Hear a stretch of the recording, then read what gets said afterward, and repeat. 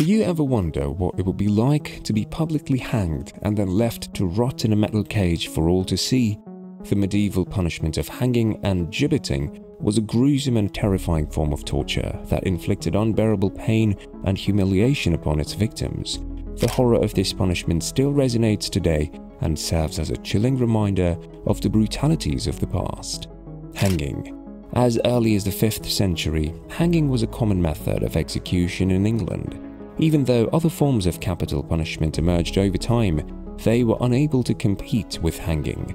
Between the time of William the Conqueror and the 18th century, when hanging became the preferred means of punishment, castration, blinding, beheading, boiling, burning, and dismemberment all made appearances in England. Children as young as seven may be made to hang from a noose if they committed a crime. Those unfortunate enough to have their necks caught in a noose before the late 19th century, when the long drop was first issued, would have suffocated to death because the height of the drop was not sufficient to break the neck. The long drop was first used. After utilizing the long drop, the true cause of death was determined to be the dislocation of the vertebrae in addition to the rupture of the jugular vein. Those individuals, however, who were granted the good fortune to escape these hangings were subject to a different kind of destiny. This could have been the result of fate, good fortune, or even divine intervention. At the beginning of the 18th century, the government of Great Britain issued a decree that anyone who had survived their execution would either be hanged again, transported to the American colonies, or set free.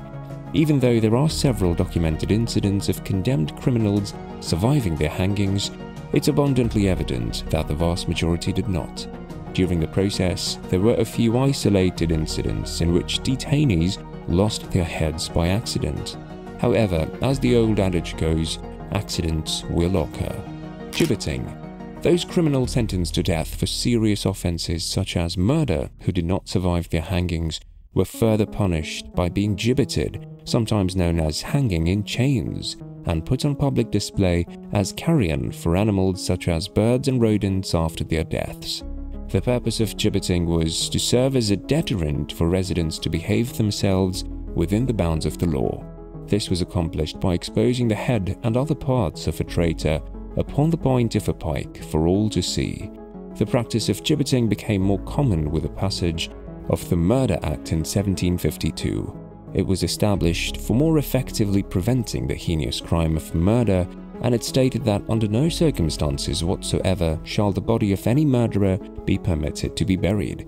Instead, the bodies of murderers were to be publicly hanged in chains or dissected in front of an audience. The act that mandated this punishment lasted until 1834 when it was finally repealed. The body was taken to a new location and hung on a gibbet there.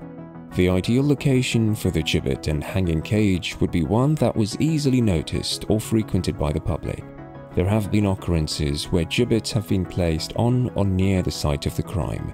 The foul smell of decaying flesh would blow wherever the wind took it, which may be a problem for residents or business owners.